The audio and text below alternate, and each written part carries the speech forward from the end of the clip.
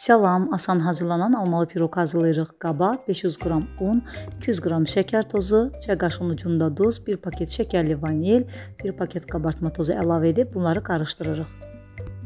Bura ev temperaturunda tam yumşalmış 200 qram kərə yağı əlavə edib umaç hazırlayırıq.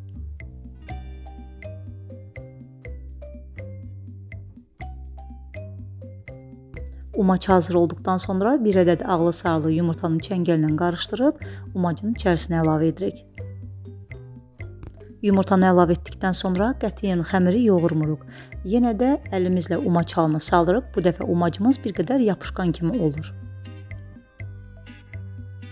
Hazır olan umacımızın e, yarısından çoxunu, demək olar ki, 24 sm yağlı kağız sərilmiş formanın içərisinə əlavə edirik və əlimizlə yayırıq.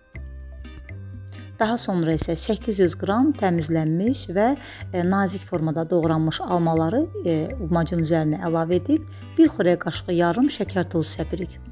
Qalan umacı da üzərinə əlavə edirik. Hazır olan piroqumuzu öncədən isidilmiş 180 dərəcəlik sobamızda 45 dəqiqə müddətində bişiririk.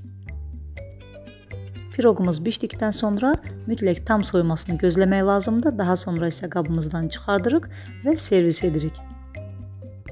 Gördüyünüz kimi tez başa gələn, çox asan hazırlanan və çox dadlı piroqumuz alınır. Görüntüsü kimi dadı da möhtəşəmdir. Mütləq hazırlayın. Hazırlayan hər kəsə nuş olsun. Videonu bəyənməyi unutmayın. Hələlik.